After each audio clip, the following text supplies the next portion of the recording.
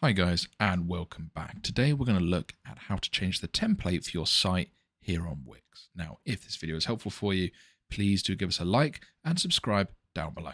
Okay, so what you want to do is make your way to your dashboard and start yourself up a new site. As you can see here, once we've got through to this page, you have the option to design your new website. We'll click design site and what this will do is this will either let us use AI, we can go through with it being blank, or we can pick a template. We're going to pick a template and this will walk us through what we'd like it to look like. So let's go for, let's go for this one.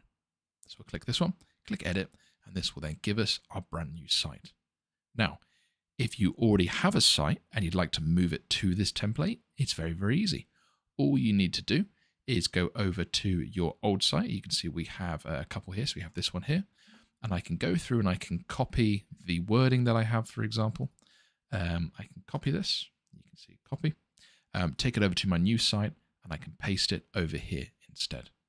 That is the easiest way for you to change templates while keeping the content that you have. And of course, if you don't like it, you still have your original site that you can go back to. So I hope this was helpful. Thank you for watching.